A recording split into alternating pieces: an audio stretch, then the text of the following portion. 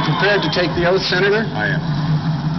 I, Barack Hussein Obama, I, do Barack- solemnly swear I, Barack Hussein Obama, do solemnly swear that I will execute the office of President to the United States faithfully, that I will execute